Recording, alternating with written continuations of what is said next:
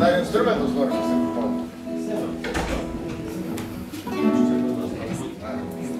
Žinokit, tas pats, man tas mikrofonas veikia. O kodėl aš vienas ateikit? Per daug nereikia ruošti. Iš pradžių vieną kvadratą. Tada kojom ir rankomis. Per ri- per ritmą.